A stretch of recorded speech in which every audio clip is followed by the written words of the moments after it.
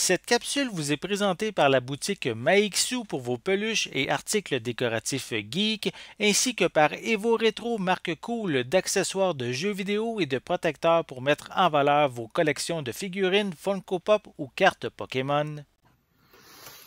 Hey, salut Techno, j'espère que tu vas bien. Je me présente, mon nom c'est Benoît Vincent pour une critique Blu-ray Code Digital Jackass Forever. Pas tout à fait sorti encore, mais j'ai eu l'opportunité de l'écouter à l'avance. Si tu es comme moi, moi j'ai 42 ans, j'étais un kid des années 80, j'étais l'âge parfait quand MTV Jackass a fait son arrivée pendant le Attitude Era, le Jerry Springer Era. on était que fait pour ça, repousser, rebattre et rebooter les limites. Jackass, pour moi, c'était un incontournable. J'ai vu tous les films. Je crois avoir vu à peu près tous les épisodes de Jackass. Et encore là, ils ont su me surprendre. Jackass, c'est pas juste un film où est-ce que il y a des gens qui se font punked, puis il y a des gens qui se font faire des coups plats, puis c'est c'est des blessures, c'est des bobos, il y a du sang, là. Il y a de la nudité aussi. C'est grossier, Jackass.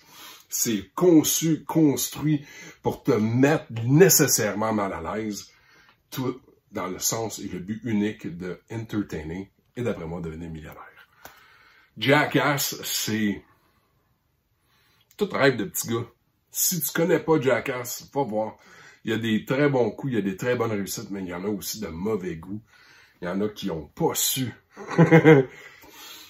grandir bien avec le temps. On va appeler ça comme ça. Alors, Jackass Forever, j'ai écouté au complet avec mon fils de 16 ans.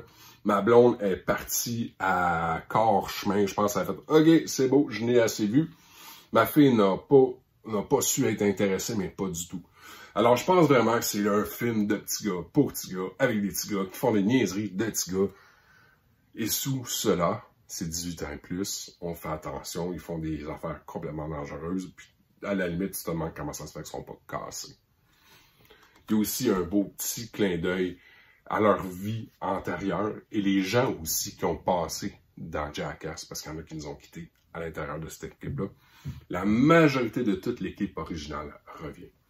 Alors, il y a une quinzaine de cascades, cascades, c'est dit, qui ne se retrouvent pas à l'intérieur de ce film-là, ils se retrouvent sur les, euh, les suppléments qui viennent avec le Blu-ray. Fait que ça, ça veut dire que la seule place sur ce que tu peux aller voir, c'est sur ton média physique. Je t'invite fortement à aller le consulter et à aller le voir.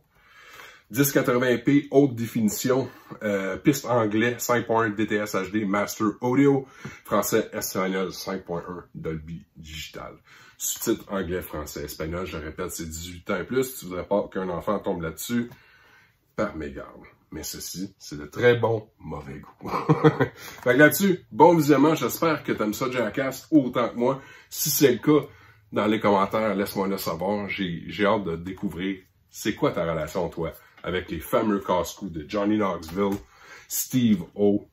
Ah, je suis en train d'oublier de dénommer. Johnny Knoxville, Rachel Wolfson, Michelin Gunn, Machine Gun Kelly, Eric Andre, Steve O, Chris Punius, Jeff Tremaine est là aussi, Etherin McKay, P.K. Subin fait une apparition, le tout distribué par Paramount, disponible le 19 avril 2022. Alors sur ce, à bientôt, mon ami. Bon visionnement.